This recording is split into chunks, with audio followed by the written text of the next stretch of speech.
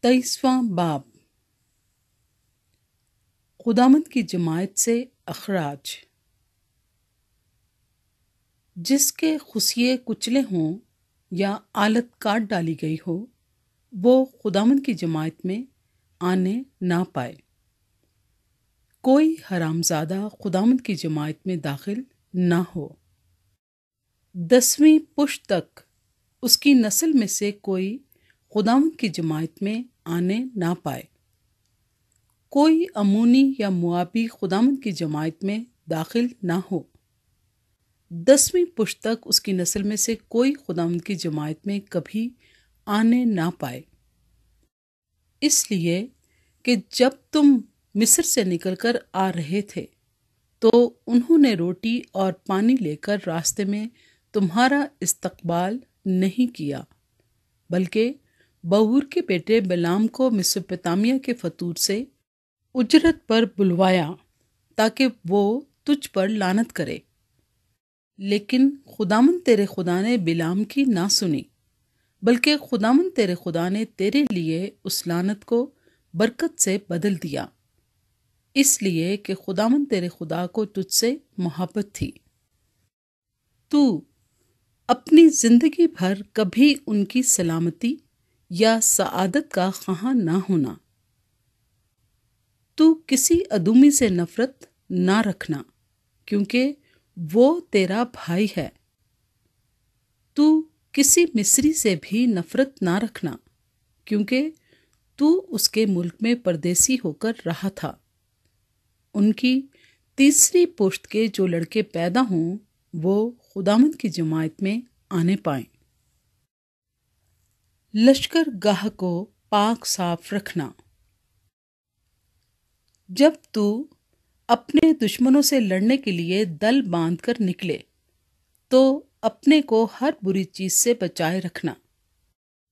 اگر تمہارے درمیان کوئی ایسا آدمی ہو جو رات کو احتلام کے سبب سے ناپاک ہو گیا ہو، تو وہ خیمہ گاہ سے باہر نکل جائے۔ اور خیمہ گاہ کے اندر نہ آئے۔ لیکن جب شام ہونے لگے تو وہ پانی سے غسل کرے اور جب آفتاب غروب ہو جائے تو خیمہ گاہ میں آئے۔ اور خیمہ گاہ کے باہر تو کوئی جگہ ایسی ٹھہرا دینا جہاں تو اپنی حاجت کے لیے جا سکے اور اپنے ساتھ اپنے ہتھیاروں میں ایک میخ بھی رکھنا۔ تاکہ جب باہر تجھے حاجت کے لیے بیٹھنا ہو تو اس سے جگہ کھود لیا کرے اور لوٹتے وقت اپنے فضلے کو ڈھانک دیا کرے۔ اس لیے کہ خدام تیرا خدا تیرے خیمہ گاہ میں پھرا کرتا ہے تاکہ تجھ کو بچائے اور تیرے دشمنوں کو تیرے ہاتھ میں کر دے۔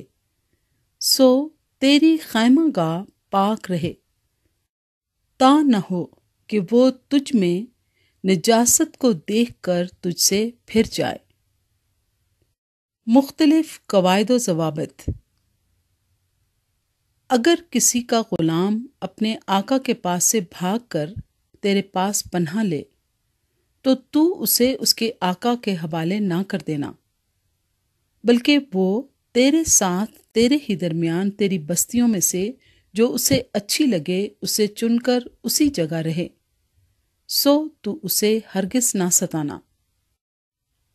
اسرائیلی لڑکیوں میں کوئی فحشہ نہ ہو اور نہ اسرائیلی لڑکوں میں کوئی لوتی ہو۔ تو کسی فحشہ کی خرچی یا کتے کی اجرت کسی منت کے لیے خداوند اپنے خدا کے گھر میں نہ لانا، کیونکہ یہ دونوں خداوند تیرے خدا کے نزدیک مکرو ہیں۔ تو اپنے بھائی کو سود پر قرض نہ دینا۔ خواب و روپے کا سود ہو یا اناج کا سود یا کسی ایسی چیز کا سود ہو جو بیاج پر دی جایا کرتی ہے۔ تو پردیسی کو سود پر قرض دے تو دے، پر اپنے بھائی کو سود پر قرض نہ دینا۔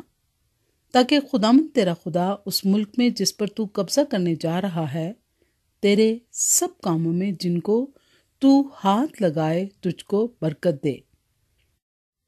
جب تو خداوند اپنے خدا کی خاطر منت مانے، تو اس کے پورا کرنے میں دیر نہ کرنا۔ اس لیے کہ خداوند تیرا خدا ضرور اس کو تجھ سے طلب کرے گا، تب تو گنہگار ٹھہرے گا۔ لیکن اگر تو منت نہ مانے تو تیرا کوئی گناہ نہیں۔ جو کچھ تیرے منہ سے نکلے اسے دھیان کر کے پورا کرنا۔